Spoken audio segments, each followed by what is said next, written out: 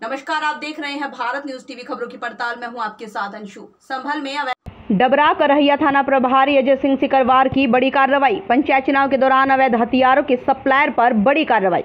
सूचना के आधार पर करहिया थाना पुलिस ने अवैध हथियारों को खपाने आया। सप्लायर को चक्रव्यूह की रचना कर मय अवैध तमंचों के साथ ग्राम जथरथी से किया गिरफ़्तार।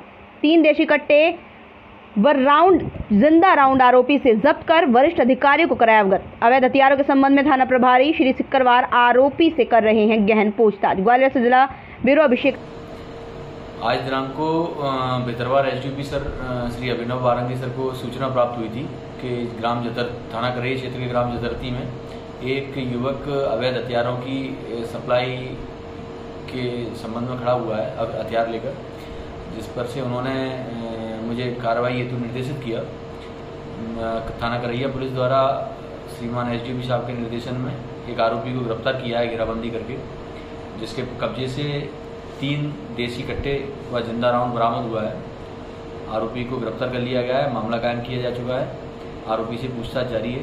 पूछताछ में और संभावना है कि अधिक हथियार और आरोपियों के बारे में सूचना हमको प्राप्त हो।